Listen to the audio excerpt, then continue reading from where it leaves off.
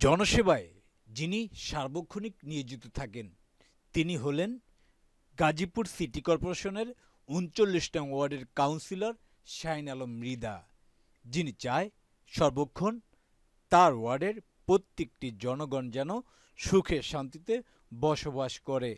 তার চাওয়া এটাই, তার ওয়ার্ডের প্রত্যেকটি নাগরিক থাকবে সমস্যা মুক্ত তাদের জীবনে থাকবে না, কোনো দ্বন্দ্ব থাকবে না কোনো দারিদ্র, তার চাওয়া, তার ওয়ার্ডটি হবে মাদক মুক্ত গাজীপুর সিটি কর্পোরেশনের উনচল্লিশ নং ওয়ার্ডের কাউন্সিলর শাহিন আলম মৃদা তিনি করোনা পরিস্থিতিতে সাধারণ মানুষকে বিভিন্নভাবে ত্রাণ দিয়ে সহযোগিতা করেছেন।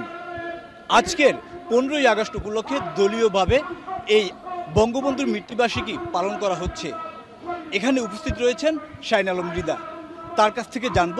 আমরা গাজীপুর মহানগর আওয়ামী লীগ কর্তৃক আজকে পনেরোই আগস্ট আমাদের জাতির জনক বঙ্গবন্ধু শেখ মুজিবুর রহমান হাজার বছরের শ্রেষ্ঠ বাঙালি বাংলাদেশের স্থপতি বাংলা জাতির রাখাল রাজা।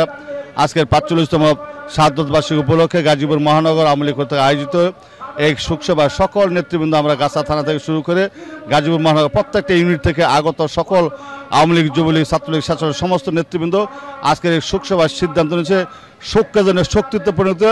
বঙ্গবন্ধুর যে অসমাপ্ত রায় হয়েছে, সেই রায়ে কিছু কার্যকরী বাকি রয়েছে, সেই রায়গুলো যে অতিলম্ব অতি বিলম্বে কার্যকরী করা হয় গত মার্চ মাস থেকে, মার্চ মাসের সপ্তাহ থেকে আমাদের হাজার বছরের শ্রেষ্ঠ জাতির জন্য যে মজিব বর্ষ হওয়ার কথা, সেখান থেকে যে কিছু স্থগিত করা হয়েছে বিভিন্ন কর্মসূচি তারপর থেকে এলাকায় ঘুরে ঘুরে সাধারণ জনগণকে করোনা মোকাবেলার জন্য সচেতনামূলক বিভিন্ন প্রোগ্রাম করেছি এবং মাস্ক ব্যবহারের জন্য ঘর- বিভিন্ন স্থানে আমরা বেসিং দিয়েছি এবং মাস্ক ব্যবহার করার জন্য এবং বিভিন্ন স্থানে আমাদের গণপ্রজাতন্ত্রী বাংলাদেশ সরকার মাননীয় প্রধানমন্ত্রী উপহারস্বরূপ আমরা ঘরে ঘরে দশ কেজি চাল দিয়েছি, আমরা বিকাশ দিয়েছি, আমরা ওমেস কার্ড বিতরণ করছি।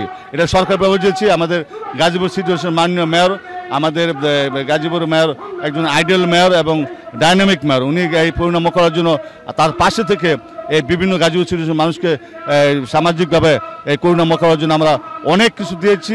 এর মধ্যে আমরা নগদ টাকা দিয়েছি, চাল, ডাল, বিভিন্ন খাবার সামগ্রী যত প্রকার দিয়েছি এবং ওমেস কার্ড দিয়েছি প্রায় এক হাজার লোককে। আমরা বিকাশ মানুষ দিয়েছি, এক হাজার মানুষকে। আমাদের উনচল্লিশ নোয়ারে গাজীপুর উনচল্লিশ নোয়ারে প্রত্যেকটা ঘরে ঘরে প্রত্যেকটা মানুষকে আমরা খাবার দিয়েছি এবং বাইরে, ঘর থেকে বাইরে আনার জন্য উপর দিয়েছি জনসংখ্যা অনুষ্ঠান করছি। আমাদের এলাকায় করোনা ভাইরাসের মোকাবিলার যত প্রকার খাবার চেয়েছে এলাকার জন্য আমরা সার্বিক ব্যবস্থা করছি সরকারভাবে দিয়েছি, ব্যক্তিগতভাবে দিয়েছি, বিভিন্ন সামাজিক প্রতিষ্ঠানগুলো এই করোনা মোকাবিলার জন্য খাদ্য সামগ্রী দিয়েছে।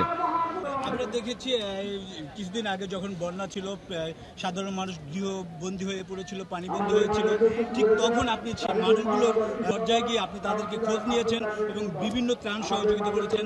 এরকম কতগুলো পরিবারকে আপনি সহযোগিতা করেছেন? করোনা ভাইরাস মোকাবেলার পাশাপাশি আমাদের প্রাকৃতিক দুর্যোগ আবার বন্যা শুরু হয়েছিল। সেই বন্যায় আমাদের এলাকা উনচল্লিশ নম্বরে অনেক মানুষ প্লাবিত হয়েছে ঘর বাড়ি ভাঙ- গেছে, অনেক মানুষ অসহায় হয়ে পড়েছিল।